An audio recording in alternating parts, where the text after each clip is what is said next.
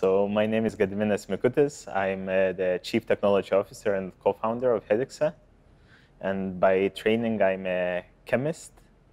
I came here to ETH to study chemical engineering, and then I met Michela, and then we decided to uh, move the research that we were doing further, and then we co-founded Haelixa. And what does your startup do?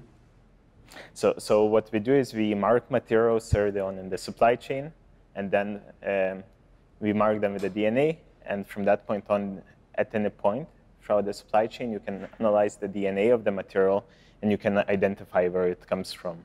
So this allows you to make claims about the supply chain of your material, which allows you to make uh, uh, claims such as uh, sustainability claims. Is it organic? Is it produced uh, free of child labor, and so on. Mm -hmm. Okay.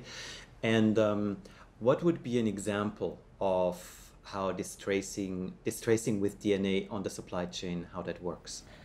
So if we take our most established example, if we take uh, the gemstone case, what, what we do there is uh, with our partners, we go to the individual mines. Um, so uh, in the case of emeralds, we go to Zambia or Zimbabwe.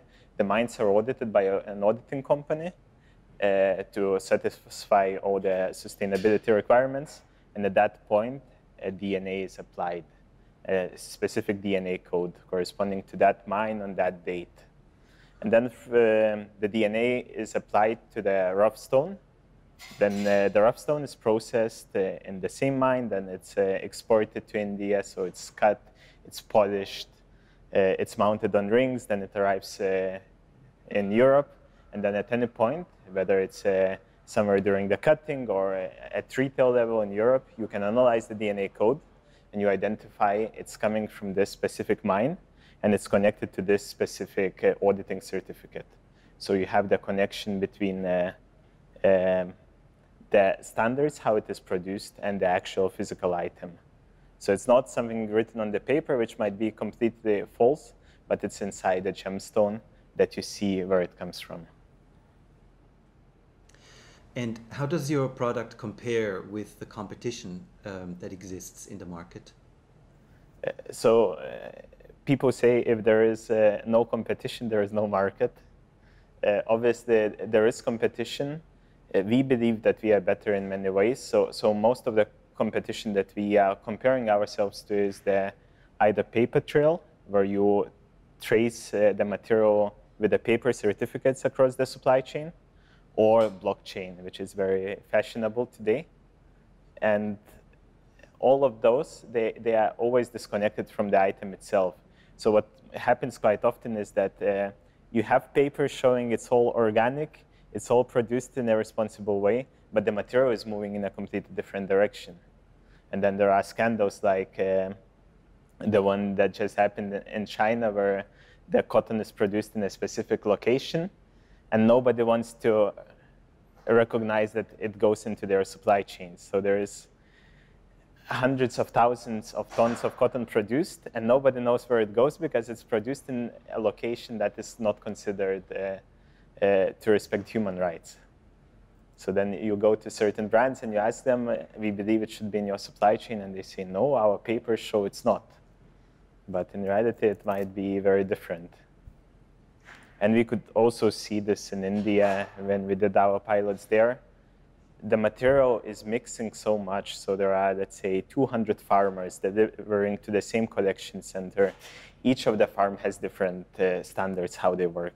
Then from the collection centers, it goes to the ginning facilities where the seed cotton is separated from the uh, fluffy part of the cotton, so from the cotton that is used for textiles. And there again, it arrives from completely different locations with different sustainability rankings, with different uh, ways how uh, the cotton is produced and pesticide use and so on. And it's all mixing all the time. And then if you want to make a claim on the finished uh, garment, how it's produced, it's, it's very difficult. Mm, okay. And, and with your tracer, this is not possible?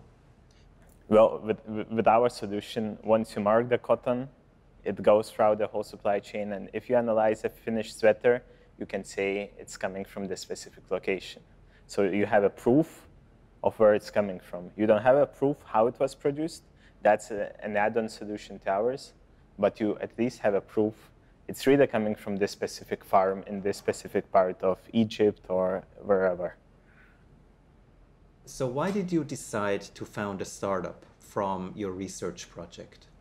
So I myself, I worked in startups before, before starting my PhD, and I liked the atmosphere. I liked uh, how much impact you have on the product because I also had experience from large industry and I saw how small of a piece I am in a big machine.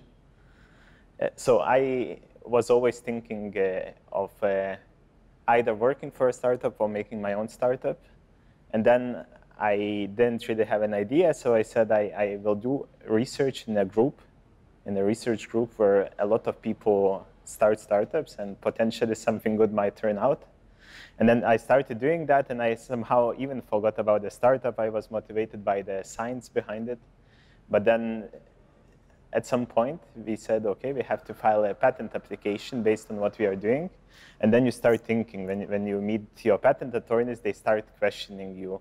So what, what industry should we cover? What markets are there?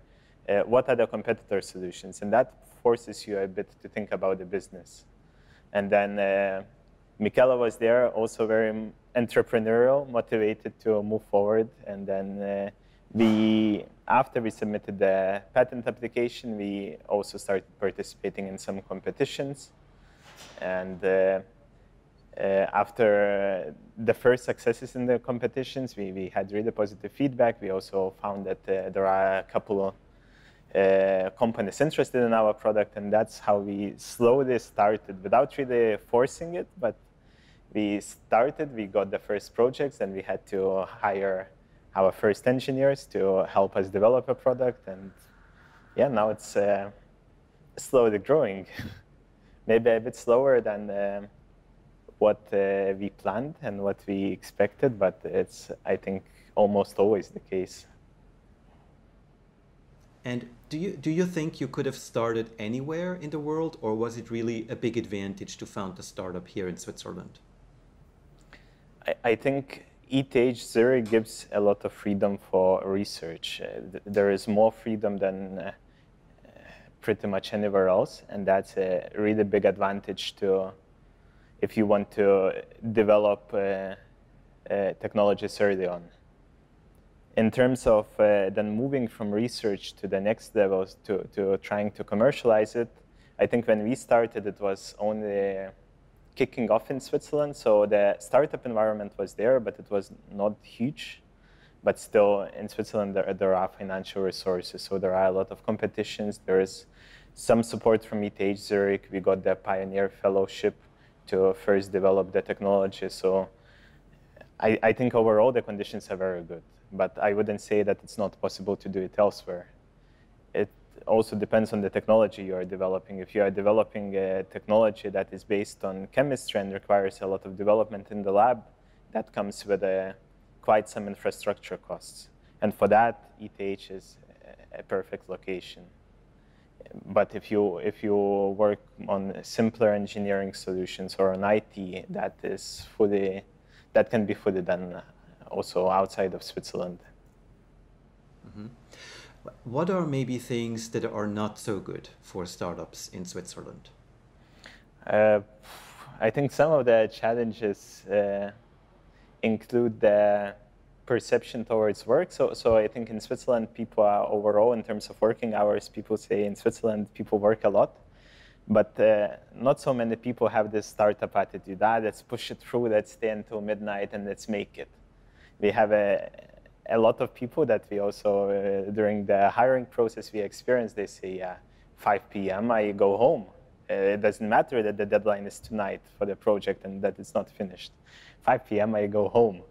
So I think that that's the, sometimes this kick, this uh, extra motivation is lacking here that you, I believe, especially in the US, you see it much more, but overall, it's also healthy to have a some, somewhat a balance between uh, uh, your work life and your private life, if you manage.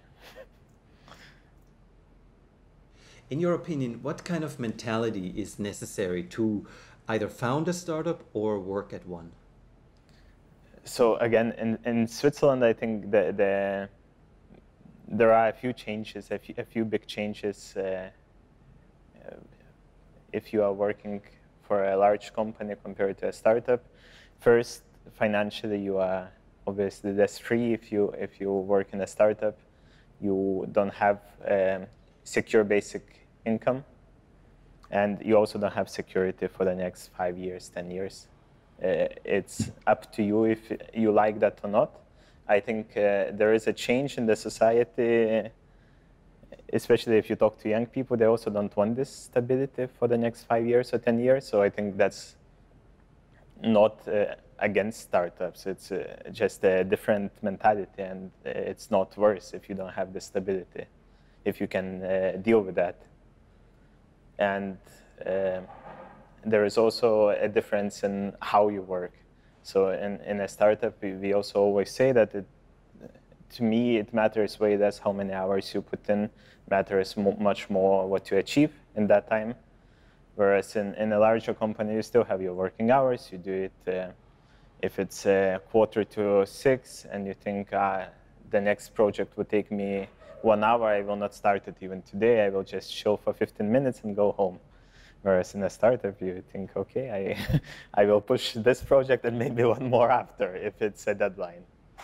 So this is definitely one thing. I think a second thing that we realize now more and more is uh, the agility, the ability to adapt to the changing environment. So in, in our case, what happens is that we change priorities uh, sometimes after one customer call who says, you know, if I deliver this by next week, we can move forward much faster. And then the whole team has to be able to adapt to it. So then we have to be able to change the schedule, how we work, how we operate. And this, uh, if you manage to do this uh, well, it's good, but I noticed that some people also don't like to change plans so much. They want to have a schedule where you know, okay, this week I do that, next week I will do something else. I have a fixed schedule, and if you will come to me with a new project, I will take it, let's say, in a month or in two months. But now I'm full. And in our case, we very often need to adapt this afternoon. Plans have changed. I do something else. Was it a challenge for you, you know, to adapt from being a researcher to being an entrepreneur? I wouldn't say so. I, I was never this uh, very long-term planning kind of person. So for me, it, it's, uh, it has never been a challenge. And I think it's also easier if you're a founder to adapt it because you see the full picture. You see the customer's demand. You see, you see how busy the team is I think it's not so difficult to adapt. I think it's much more challenging to adapt if you are an engineer in a startup company where you plan your schedule, you plan your day, and then your boss comes to you and tells you, hey, by the way, change your plans. What you did this morning doesn't matter. Now we start something new. I think that can be quite harsh. And I'm uh, happy that our team is really flexible and really good with this. If you explain it to them well, they always appreciate it. But uh, I see this uh, as not straightforward. And I understand if people are hesitant if you tell them we need to change what we do. In your experience, what is different from your expectation of being a startup entrepreneur and how it really is? Uh, that's a good question. So I think in the end, it's not that far from my expectations. So before I started the company, it's it's not that far from what I expected back then. Um, I expected it's going to be a lot of work. I expected there would be uh, a lot of ups and downs. Probably what I mm, didn't expect is what kinds of ups and downs there would be because when when you listen to people sharing their startup stories, they, they usually talk about the product, about the clients. In our case, uh, we, we face uh, also different kinds of challenges. Intellectual property is a big topic, human resources, uh, motivating the team, uh, hiring new members in the team. all of those have uh, more ups and downs than the product itself. But I guess this you can never plan, so so you you never know what kind of uh, challenges you would have. And how do you learn new skills um, as an entrepreneur? Um, we have a group of advisors uh, for different topics to advise us on. So, uh, if we take a case of human resources, we had some challenges uh, with internal communication in the team, how, how to keep it up to the level with a growing team. And for that, we, we got uh, an advisor who works on human resources uh, professionally.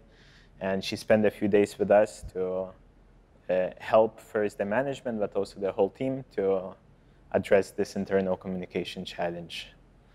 Uh, in some other cases, you can, uh, I think you can learn a lot online. Uh, there are a, lot of good articles on, on any kind of management issue because also management is something that I think many people take for granted without studying, and that takes time to learn.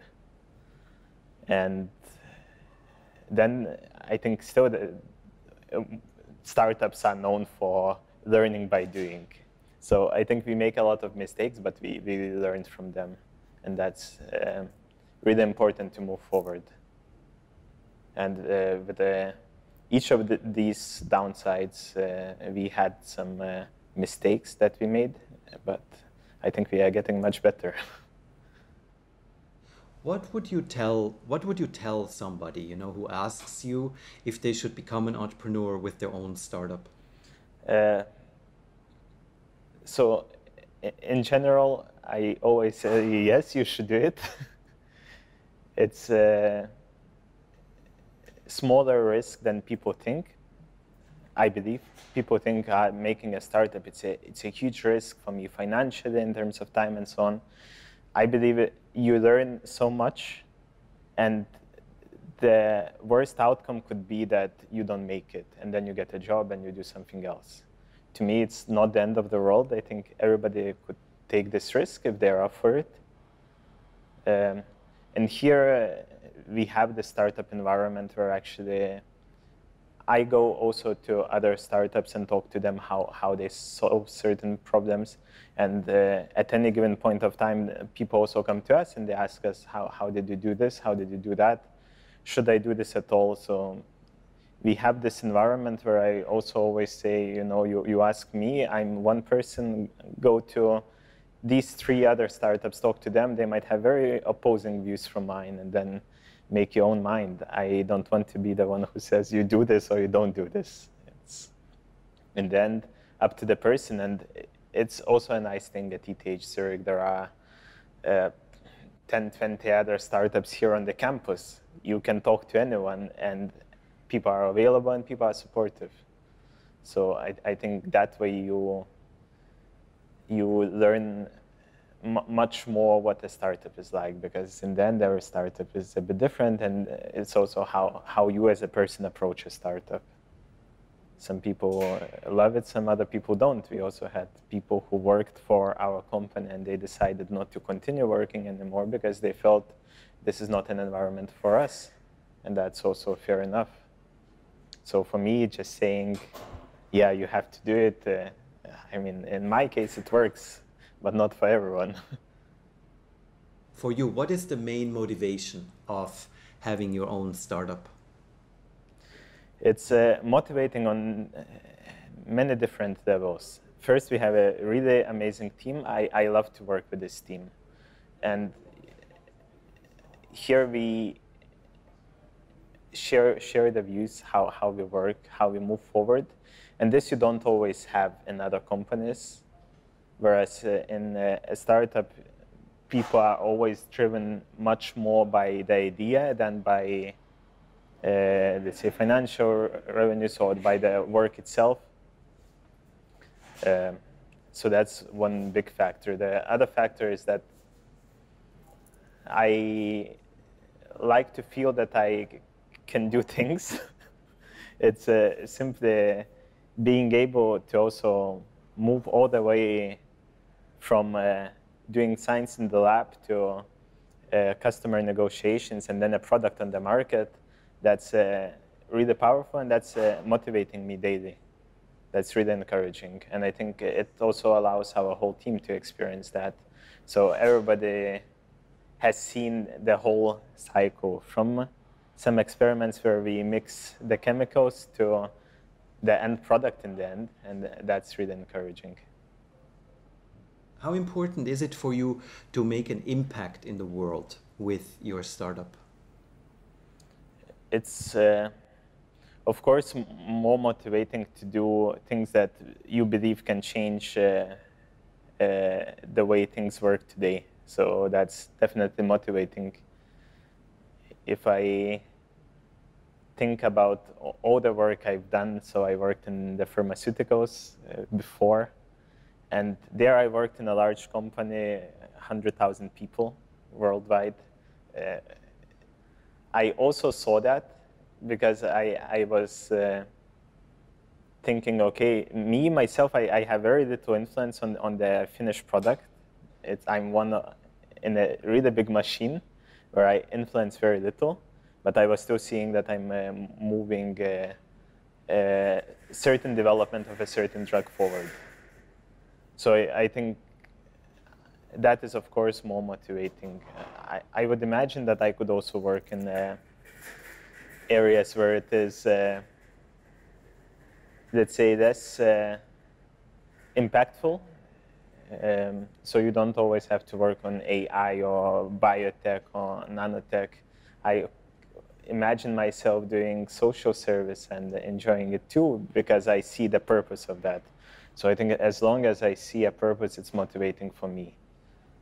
And uh, I, I, have done quite a lot of volunteering as well, where I was working. Uh, I spent almost a year in Vietnam working with disabled children, and to me that was just as meaningful, way more exhausting than a startup, but just as meaningful. So it doesn't always have to be the role changing, uh, but I need to see a purpose in what I do.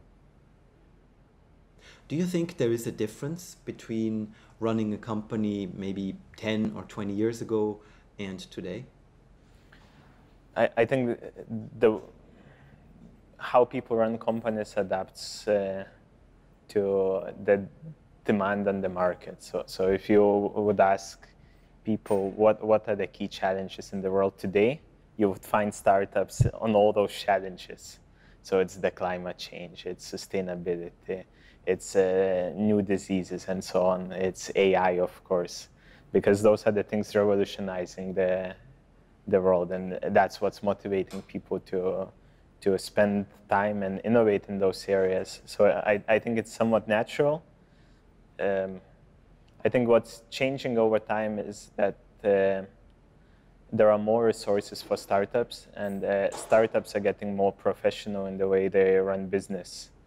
So I, I see quite a difference uh, if I compare the startup environment here in Switzerland, let's say people from whom we are collecting advice to us, to even younger companies. People get more and more advice and they run it more and more professionally. Because typically, if you run a startup, you come very often from a technical field and you are for sure not the best manager. That's a, a fact, and you have to learn that. And I think now there are a lot of tools to learn that. So in terms of that, I think there is a big change in the society and how, how successful the startups are because of that.